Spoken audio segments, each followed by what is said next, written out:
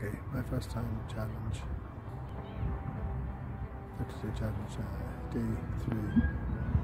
So the idea today is to go for uh, exercise in the park.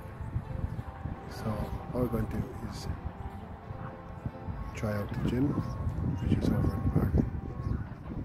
This is uh, quite quite a big deal for me because uh, I'm trying to feel nervous doing this in public. But uh, yeah, here we go. This is my first time going to go. I'll show you the gym a little bit. So this is the outdoor gym. Got your parallel bars, which are tough work. You got these things I do out there. You have a bicycle over there. You have this other thing where you can do your legs,